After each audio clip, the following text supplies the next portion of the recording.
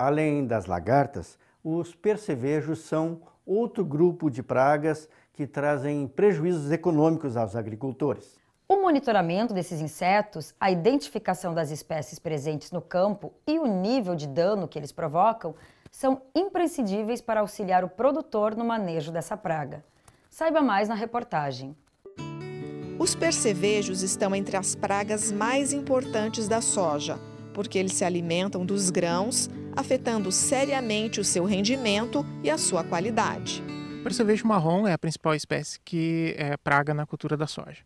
Porém, existem outras espécies né, que, que ocorrem, dependendo da região, uma ou outra uh, se, se destaca.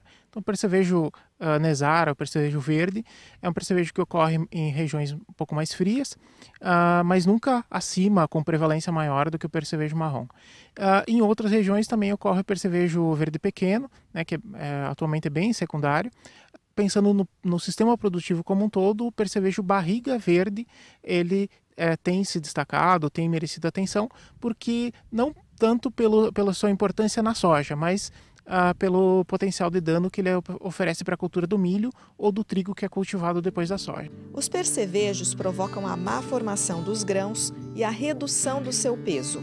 Além disso, a planta pode não amadurecer normalmente, permanecendo verde na época da colheita, o que acarreta perdas todas as espécies de percevejo eles atacam uh, as estruturas reprodutivas da, da soja, né? então atacam a, a, vagem e os grãos nos vários estágios de desenvolvimento uh, e, e, as perdas né, ocasionadas por conta de, desse ataque, eles se devem, se o ataque é mais inicial, a má formação ou até o abortamento das vagens, ou então se já os grãos estão desenvolvendo, esse ataque pode determinar a, o abortamento de grãos ou a, a, má formação desses grãos, e com ataques um pouco mais tardios, a, tem um reflexos na qualidade do grão, ou da, principalmente quando é lavoura de semente, na qualidade dessa semente em termos de redução do poder germinativo, redução do vigor e outras características de, desse grão e dessa semente que são colhidos. O surgimento das primeiras vagens na planta indica o momento ideal para se fazer o monitoramento dos percevejos.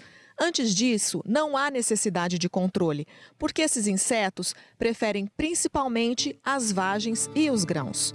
Para saber quando aplicar inseticida, o produtor deve utilizar a metodologia de monitoramento com pano de batida em vários pontos de cada talhão.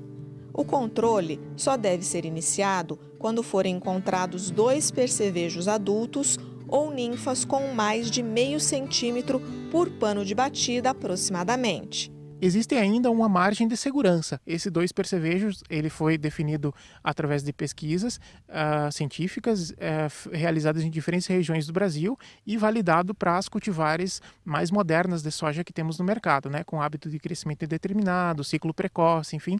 Para as condições atuais de cultivo, esse nível de controle é válido. Uh, e ainda assim ele tem uma certa margem de segurança que é para dar tempo entre o agricultor constatar esse nível populacional e adotar as medidas de controle e essas medidas de controle efetivamente surtirem uh, no, no, no, o efeito que é o controle ou a redução populacional uh, dessa praga. Então, não é assim, o agricultor não precisa ficar desesperado, ele sim precisa ter a atenção devida e fazer a, a aplicação dessas táticas de manejo uh, na, no momento correto. Tem que também escolher o melhor produto, enfim, uma série de cuidados para que esse controle seja eficiente para que ele realmente proteja a sua lavoura. Então, não é o fato de ter um ou outro percevejo na lavoura, então o agricultor entrando na lavoura, encontrando um ou outro percevejo de forma aleatória, que já vai estar tá causando dano. Isso porque a planta de soja ela tem uma certa capacidade de compensar a um pequeno ataque dos percevejos, né, colocando, uh, emitindo novas flores, emitindo novas vagens, ou mesmo quando o ataque é mais tardio, é, compensando em aumento do peso de grãos uh, quando há algum abortamento. Em campos de produção de sementes, o nível de ação é menor que para campos de grãos.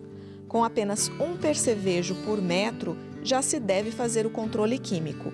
A maior parte do manejo de percevejos é feita considerando o controle com agrotóxicos. Nessa perspectiva, é importante fazer a rotação com produtos com diferentes mecanismos de ação.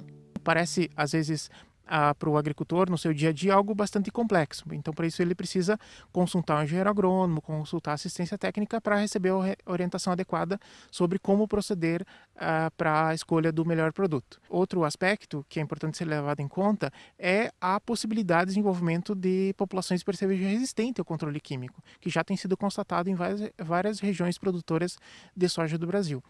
Para se evitar isso, né, que, que a gente deve fazer o uso racional dos produtos, é, deve sim respeitar os níveis de controle para não aplicar abusivamente os produtos e também evitar o uso dos inseticidas, que são é, dos poucos inseticidas que existem para percevejo, evitar que esses produtos sejam utilizados para controle de outras pragas, né, como o controle de lagartas ou de, de outros alvos para os quais tem-se outros produtos sem mais outras chances de escolha. Então, reservar mesmo os produtos que são para percevejo exclusivamente para percevejo e assim evita de expor os percevejos a, a, a, um grande número de aplicações ao longo do ciclo.